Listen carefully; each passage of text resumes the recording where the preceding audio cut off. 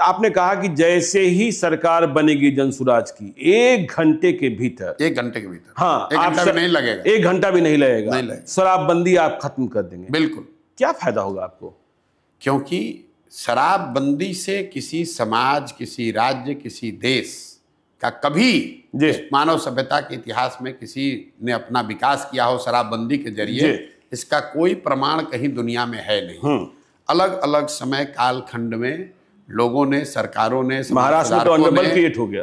प्रयास किया। नहीं नहीं मैं दुनिया की बात कर रहा हूँ अमेरिका में भी लागू करके देखा गया। हम्म, प्रमाण ये है कि नहीं इसके ज़रिए कोई फ़ायदा नहीं इससे नुकसान है। जी। दूसरी बात बिहार में नीतीश कुमार और उनके कुछ चेले चपाटे बताते हैं।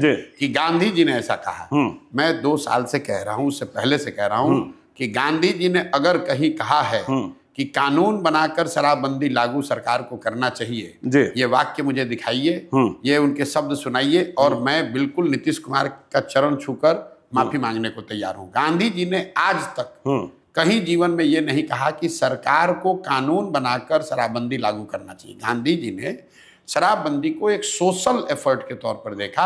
ये तो ऐसे हुआ कि गांधी जी ने ये भी कहा कि वेजिटेरियन होने के बड़े फ़ायदे हैं। हम्म। और सरकार कल नियम बना दे कि जो भी नॉन वेजिटेरियन उसको जेल में डाल दिया जाएगा। हम्म। तो गांधी जी के बात को डिस्टॉर्ट करके लोग बता रहे हैं। तो पहली बात दुनिया में कहीं इस बात का एविडेंस प्रमाण नहीं है कि शराबबंदी के ज़रिए विकास हो सकता है। दूसरा गांधी जी ने ऐसी कोई बात कही नहीं। तीसरी बात शराबबंदी लागू है कहाँ? अगर एक बार को मान भी ले कि कुछ इसका फ़ायदा है तो फ़ायदा तो तब होगा जब लागू होगा। दवा का फ़ायदा है तो दवा खाइएगा तब तो फ़ायदा होगा। शराबबंदी लागू नहीं है शराब के दुकान बंद हो गए होम डिलीवरी चालू हो गई। हम्म। और इस पूरे निर्णय का असर क्या हुआ?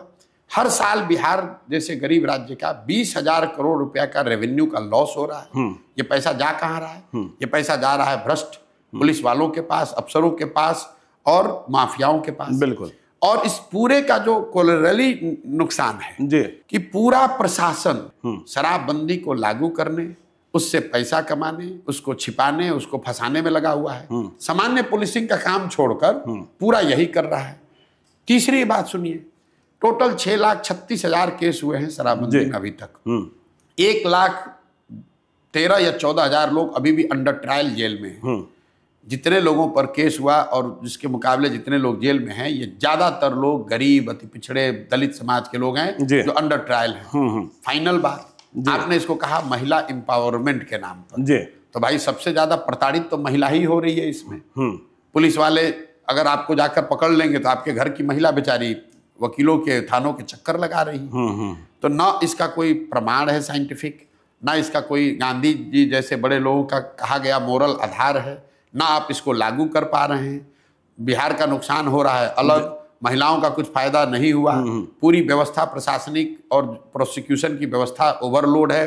पूरे कोर्ट्स जो हैं ओवर क्लॉग्ड हैं शराबबंदी के केस से। वो तो सुप्रीम कोर्ट कह चुका कि तो क्यों क्यों लागू क्यों लागू कर रहे हो भाई? हम्म। सिर्फ़ सिर्फ़ जिद है। हम्म। राजा की जिद है कि हम इसको लागू करेंगे।